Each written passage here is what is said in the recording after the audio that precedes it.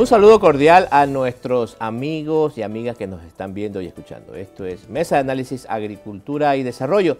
Soy yo, Eloy Franco Rodríguez, presentador de este espacio. Hoy, miércoles 5 de junio de 2019, un programa obviamente dedicado al Día Mundial del Ambiente. Ambiente y producción con un verdadero experto.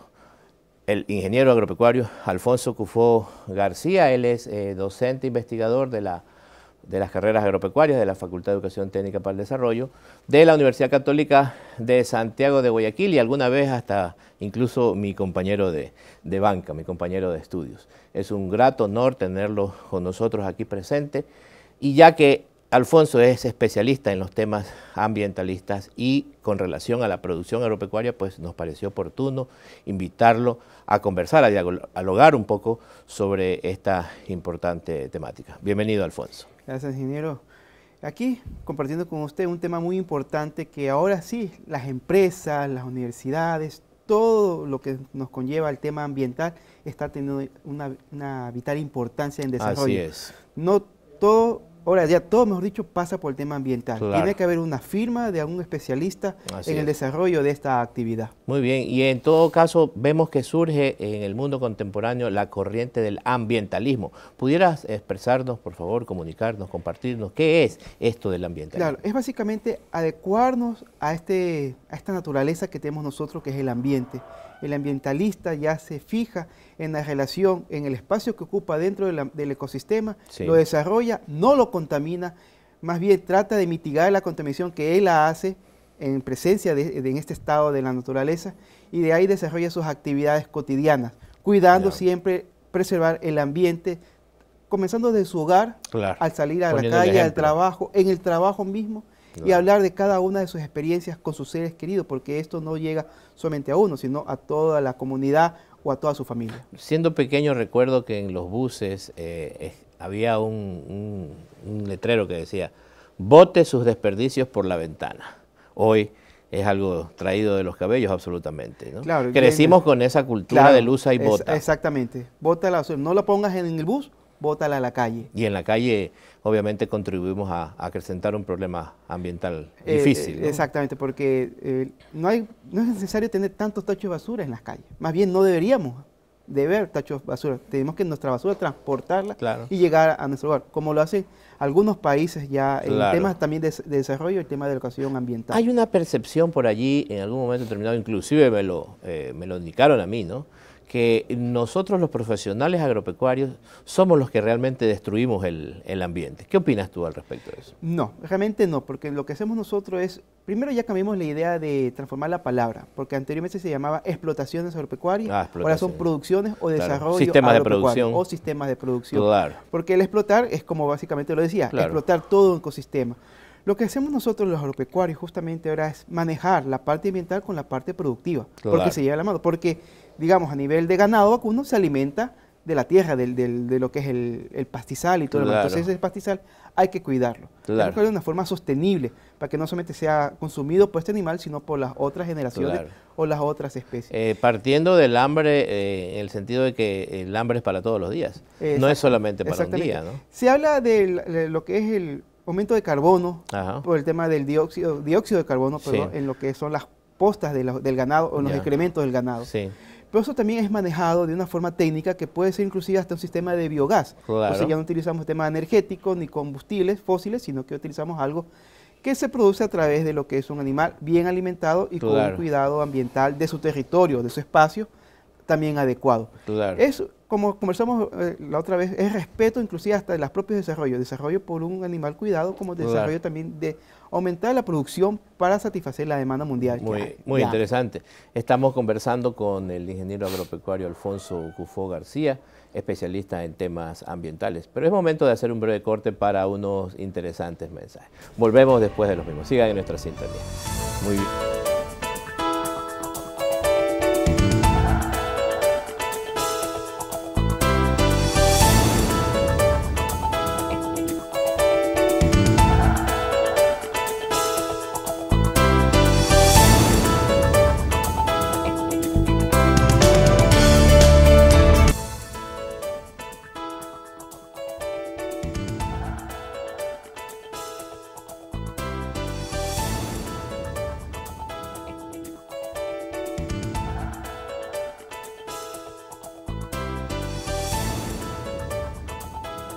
Gracias por seguir en nuestra sintonía. Estamos con Mesa de Análisis Agricultura y Desarrollo en el día especial, el Día del Ambiente, trabajando el tema de ambiente y agroproducción con un verdadero experto, el ingeniero Alfonso Cufo García. Y decíamos, Alfonso, que es importante que el ambiente y la agroproducción se lleven de manera sincrónica. Nuestro equipo de producción ha preparado una interesante nota con relación a lo que es ambiente y producción agropecuaria. Adelante con esa nota. A lo largo de la historia, el hombre ha diversificado los modelos de agricultura basados en las premisas de cuidado del suelo y la protección del medio ambiente. Uno de esos modelos es el de agroecología, orgánica o biológica. Este es un sistema de cultivo de una explotación agrícola autónoma basada en la utilización óptima de los recursos naturales sin emplear productos químicos, sintéticos u orgánicos genéticamente modificados logrando de esta forma obtener alimentos orgánicos, a la vez que se conserva la fertilidad de la tierra, respetando el medio ambiente de manera sostenible y equilibrada.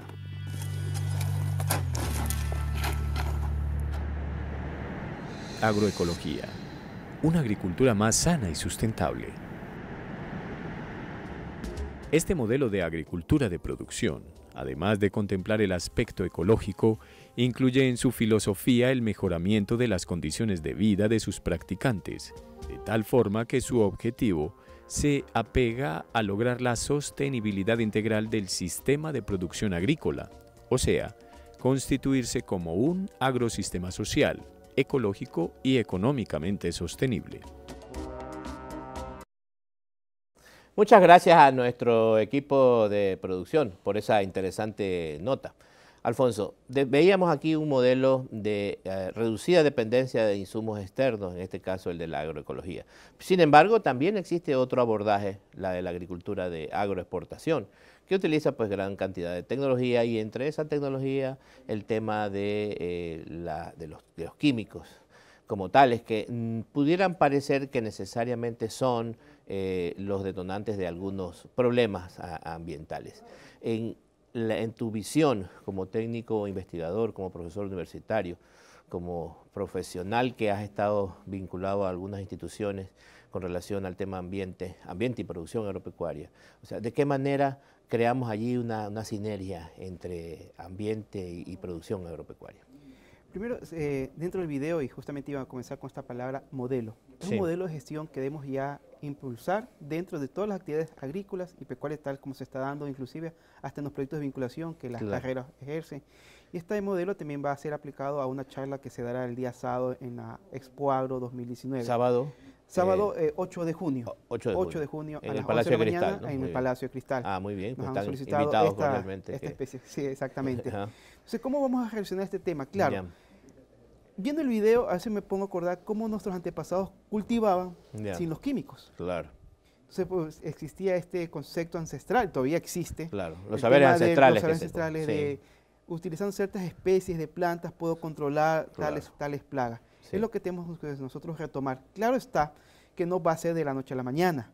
Tiene que haber un control en ir mitigando, disminuyendo los agrotóxicos, acostumbrando nuevamente al suelo, que es el, ente de la tierra, que es el que alimenta a las plantas y ahí va una cadena alimenticia, plantas y animales y después al ser humano termina en nosotros. Muy bien. Puede hacer este modelo de gestión de desarrollo a nivel de, de una cadena trófica de la alimentación, comenzando con los nutrientes del suelo, recuperar el suelo, Muy bien. las plantas, realmente controlarlas, los insectos, eh, multiplicar los insectos benéficos También, que ayudan a eliminar los insectos plagas, porque el, químico podría retener algo, pero los insectos, como sabemos, se comienzan a a adaptar a los ciertos químicos y la plaga comienza a incidir y ya el efecto químico no va a ser y el allí, efectivo. Y allí subyace algo importantísimo, que es que el ser humano moderno tiene que identificar las condiciones del agroecosistema en donde está trabajando. tiene que adaptarse. A... Exactamente, para adaptar sus sistemas de producción a las condiciones ambientales, porque tradicionalmente lo que hemos hecho es ir a la inversa,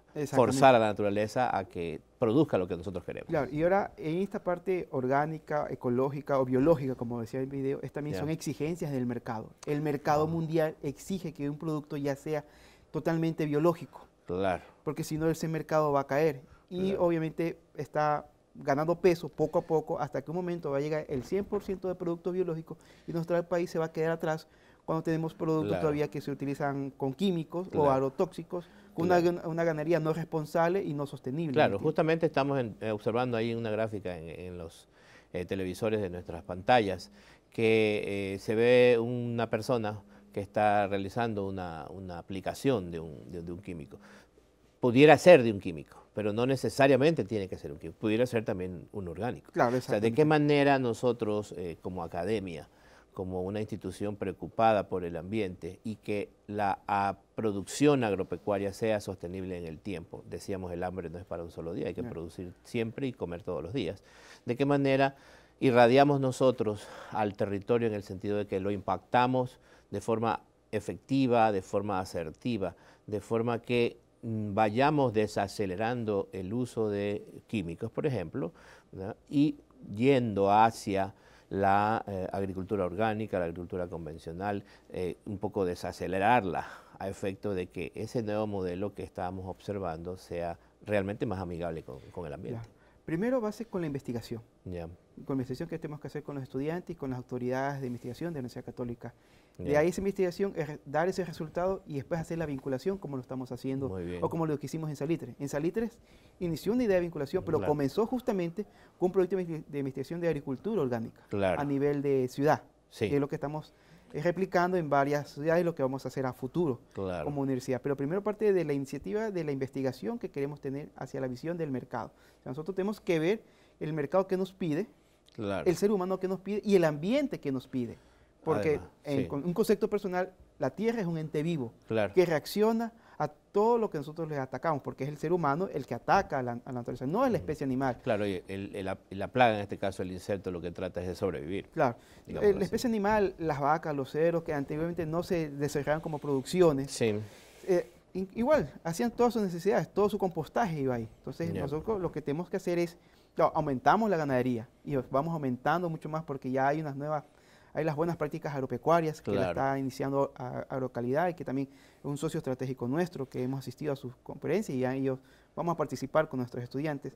Viene de primero cuidar el ambiente, la necesidad que tiene el ambiente para a partir de ahí comenzar a desarrollar las producciones agropecuarias en beneficio de todos. Claro, y aquí habría una situación importante que es que hay que acompañar, en este caso, al productor agropecuario, en términos generales de todas las economías de escala, a efecto de que sea sensible en tanto y en cuanto el ambiente realmente es el que concibe la producción como tal. Nosotros, seres humanos, lo que hacemos es cuidar hasta cierto punto, tal vez eh, suplementar con el riego, con el abonamiento, pero el ambiente como tal es el que concibe la producción. Es el que mantiene. Si el ambiente se siente amenazado, lo que le hace es reaccionar. Claro. Si hay mucha sequía, pues es lo que hace es una fuerte inundación, un fuerte mm. periodo de lluvias. Oh, Para disminuir su temperatura, su humedad, el mismo ambiente se controla. Lo que nosotros es, a veces ponemos nuestra casa al pie del río, cuando ya no, debe, no se debe no debería ser, el, agua reclama su, espacio. Usted ha visto que en las taludes de los ríos se, se, se, pone, se pone maíz. Claro. Viene una corriente alta o una corriente fuerte, se lleva el maíz. Entonces, tenemos que también saber eh, organizarnos territorialmente dónde producir y qué producir. Son ideas que antiguamente se han desarrollado y que actualmente, por tener mayor cantidad de producción, abarco todos los espacios posibles. Quiere decir que aquí tiene que haber necesariamente el, diálogo de saberes, ¿no? Ese ancestral cultural y ese científico tecnológico que eh, alrededor del ambiente y la producción agropecuaria tiene que ponerse de manifiesto. Claro, y todo, ah, y todo lo que va en ambiente, tomo las palabras de un video que justamente vi en una red social, justamente en la que se maneja en la carrera agropecuaria R, que, entrevistaron a una persona en una salida de campo, que todas las profesiones radican del ambiente y de la agricultura. Así sea el abogado, el arquitecto, el, diseñador de interiores, todo radica en el ambiente y la agricultura. Porque inclusive ahora ya hay eh, casas que son ecológicas. Además, Entonces, arquitectura va a esa tendencia a casas ecológicas. Los diseños interiores también va a la parte vegetativa.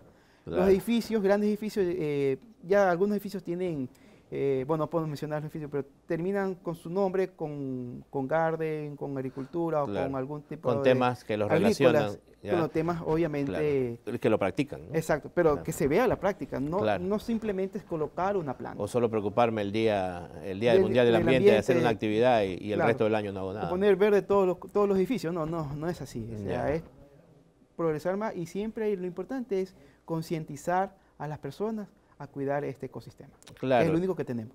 Claro, definitivamente que es así y en eso la academia tiene una labor importantísima, trascendental, y es el hecho de ir formando a las eh, nuevas huestes que van profesionalmente luego a incorporarse en, la actividad eh, productiva y en este caso sensible hacia los temas ambientales. Se dice que el ambiente siempre pierde. ¿Qué opinas tú ahí? El ambiente se defiende. Se defiende. El ambiente se defiende. Se defiende cómo va evolucionando. Él puede lanzar una plaga. Claro. Y acaba con toda una producción. Justamente es la temática del siguiente y último bloque que es qué haríamos en el futuro para que ese ambiente sea sostenible y nos permita permanecer en él durante mucho más tiempo. Vamos a un breve corte para unos interesantes mensajes. Sigan en nuestra sintonía.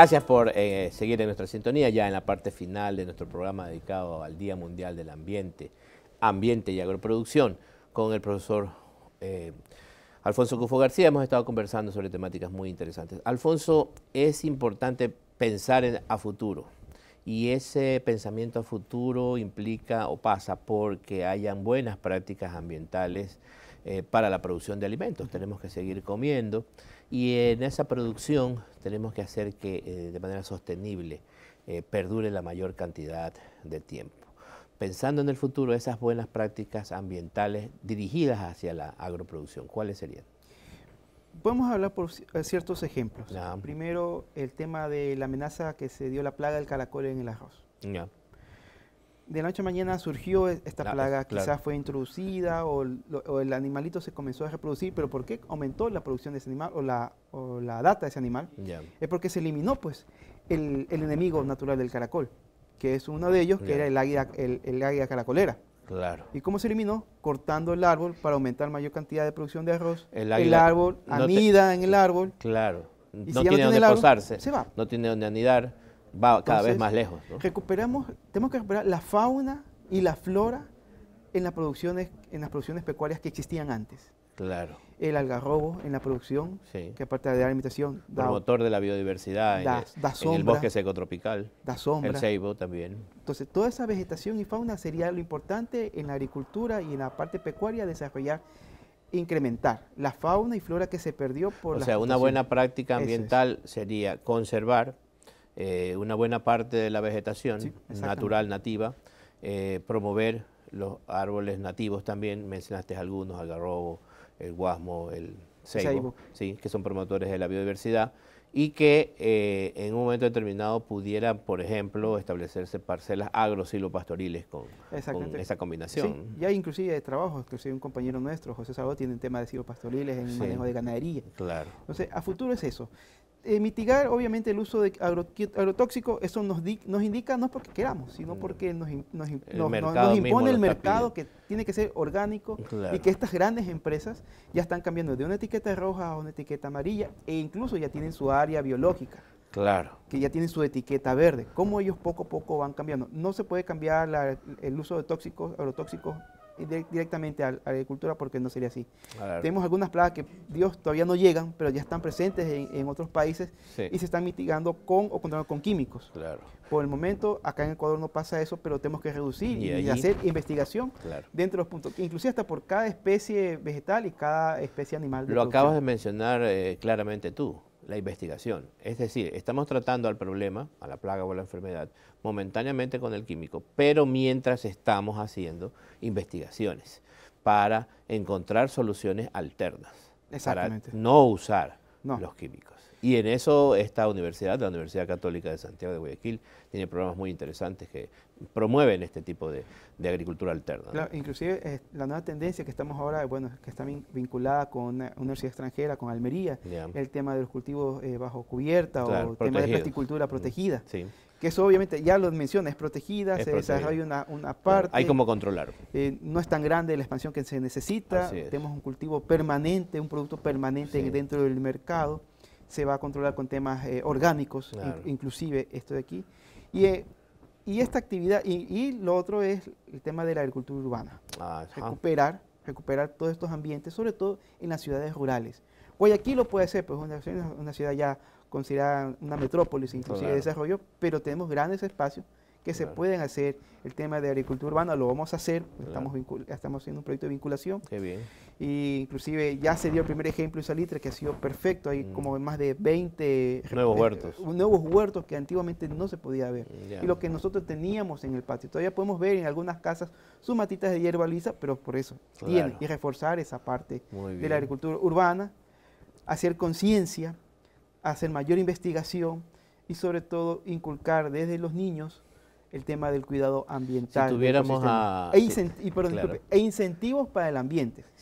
En otros países, por tantas latas que tú pones en una máquina, te da el pasaje, digamos aquí, digamos el pasaje en la metrovía. Claro. Por dos latas te dan un pasaje de la metrovía que existen en otros países. Ah, muy bien. Eso hay un incentivo directo y, y poner multa, la verdad, coger al que vimos por la calle que botó algo teniendo el tacho de basura a, tres metros es bien complicado. Es complejo. Trabajar Mejor démosle un incentivo.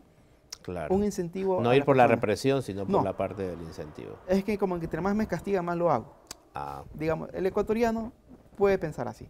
Entonces, démosle un incentivo a cuidar el ambiente. Muy interesante. cinco botellas plásticas, un pasaje de la metrovía. y hay máquinas que pueden hacer eso. Claro, muy interesante. Pues hemos estado conversando con Alfonso Cufó García. Se nos ha terminado nuestro tiempo. Alfonso, un minuto para mirando tu cámara, el mensaje final a la nación y al mundo. Sí. Adelante. Realmente cuidemos el ambiente, este ecosistema. Tratemos de visualizar que no solamente es para nosotros, sino para generaciones futuras y que esto, a raíz de la producción pecuaria y la producción agrícola, va a fortalecer el cambio ambiental, porque ya hacemos con una palabra, el modelo de gestión agroproductiva que la Universidad Católica de Santiago aquí lo hace a través de sus carreras agropecuarias. Muy bien, muchas gracias. Él ha sido Alfonso Gufo García, profesor de la Universidad Católica de Santiago de Guayaquil e investigador ambiental. Sigan pues con eh, sus llamadas, sus teléfonos, sus correos, sus me gustas en las redes sociales. Esto ha sido Mesa de Análisis Agricultura y Desarrollo. Soy John Eloy Franco Rodríguez. Muchas gracias por su sintonía. Que estén muy bien. Muchas gracias. Muy bien, vamos. Ahora